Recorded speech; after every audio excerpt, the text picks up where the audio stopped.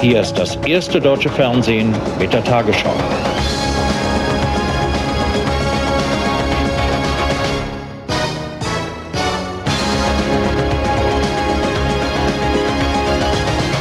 Guten Abend, meine Damen und Herren.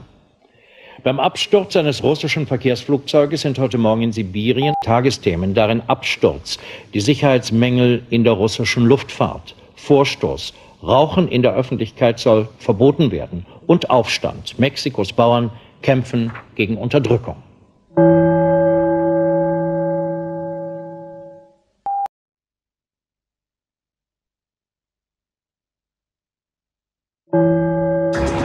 Hier ist das erste deutsche Fernsehen mit den Tagesthemen.